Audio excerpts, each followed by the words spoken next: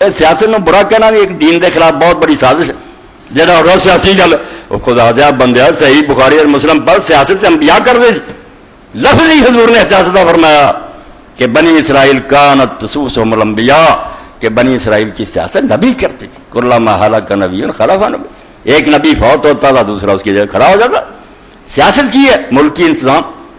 ایسے اپنے کو کر لینا سی، ہیرا پھیری جانا سیاست ایک کنجرا نے ایک بات بنائی۔ تجارت کا نام مانا ہیرا پھیری تجارت تے خرید و فروخت۔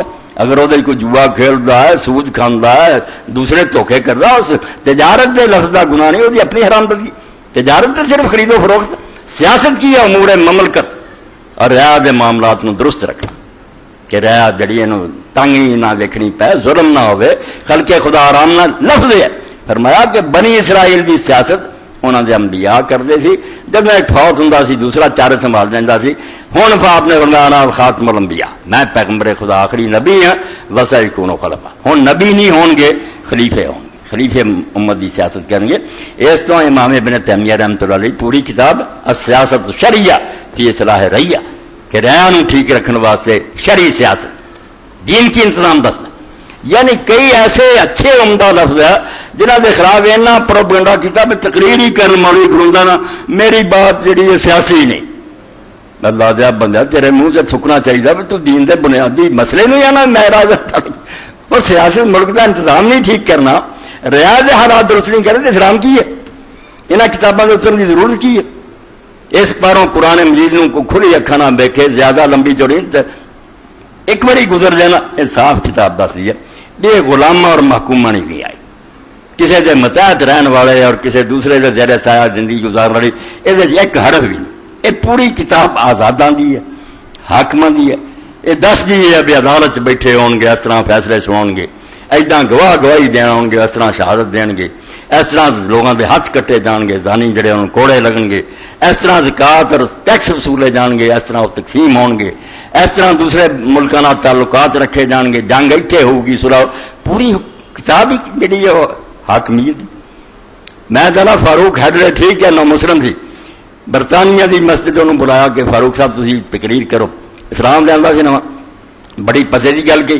انہیں آگا یار مسلمان دی کتاب قرآن مجید بہت آرام مگر یہ خامی رہ گئی۔ سارے کہنے کا توبہ توبہ۔ یار فاروق حیدر ہوں بھی مسلمان ہو کے کفر بکن دیا۔ گھبرا گیا۔ انہیں آخیا نہیں، ہے کر کی رہا سی؟ قرآن کی تعریف کر رہا سی، بظاہر زم سی۔ نظر یہ آتا سی برائی کر رہا مگر ڈر پتلا تعریف انہیں آخیا اس کتاب کی خامی یہ ہے۔ بھائی مینو اس کتاب غلامہ واسطے کوئی تلقین نہیں گئی کہ کافر راج کرتے رہتے تھی انہوں ملکوں سے آرام نہ زندگیاں گزاری جاؤ۔ دو سو سال انگریز راج کرتے تو تے مگر سے چلتے رہے کوئی جہادی تحریک نہ اٹھے کوئی تھی جانا قربان نہ کرو۔ قرآن میں نے یہ جی کتاب نہیں نظر غلامہ لی کوئی درس۔ اتنے علامہ اقبال رحمۃ اللہ نے پھر تنز طور آخیا دین، ان غلاموں کا یہ مسئلہ کیا کہ ناقص ہے کتاب۔ کہ سکھاتی نہیں مومن کو غلامی کی قرآن نو مننا تو پھر قرآن بھائی حاکمہ کا دین ہے۔ نہیں، چل ہو سکتا کہ جان چھڑاؤ نہ، نمازاں روزانہ کھ نہیں بننا۔ یہ ذکر نیم شبی، یہ مراقبے، یہ سرور۔ تیری خودی کے نگاہ باں نہیں تو کچھ بھی نہیں۔ مراقبے ہار بنے اکا میٹیاں یہ ہوں ارش سے پہنچ گیا جی۔ میرا مقام ویکو جی کرسی تو بھی لنگ۔ بیٹھا اتنے ہی تکے کھان دیا کافی راج کرن دیا یہ ارش تو اگے لنگن دیا بےوقوفی کی حد ہوئی ہے، قرآن مجید دنیا جو حکمرانی لیا ہے۔ پورا کتاب کا موضوع ہی ہے کہ اللہ دا قانون چلے اور زمین دلیت خدا دی حاکمیت ہوئے، شریعت کے مطابق فیصلے۔ اور شریعت کوئی ظلم نہیں، دیر نہیں۔